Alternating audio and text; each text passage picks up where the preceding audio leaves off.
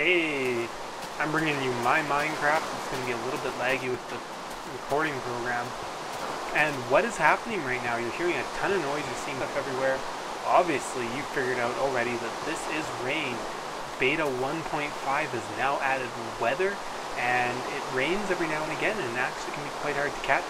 For some reason, though, on sand, what they've done is they've decided the weather based on land around you, such as, you know, when it's grassy, uh, it can rain. When it's sandy, it's supposed to be a desert, so it's not supposed to rain. So that's a little bit of a glitch, is that it cannot rain, uh, cannot rain on sand. As you see when you go underneath a little bit of overhang, oh, it actually rains right through stairs. Interestingly enough, it goes through stairs, but it does not go through uh, solid blocks. So definitely if you get underneath a solid block like this one, you'll see no rain on that little patch. Of course, not rain under trees either. Alright. it will actually be raining inside of my house, I think, because I think my whole roof is made out of... Oh, another thing you can see, I have some fire going over there.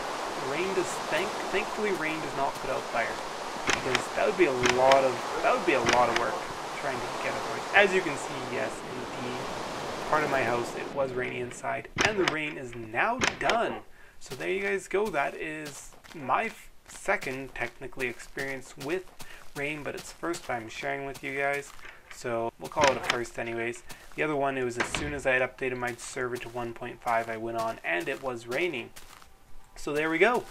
That is rain in Minecraft. I haven't found other weather yet. I don't know if there is other weather. I haven't looked it up on the wiki, but I'm going to be planning on doing some more Minecraft stuff soon.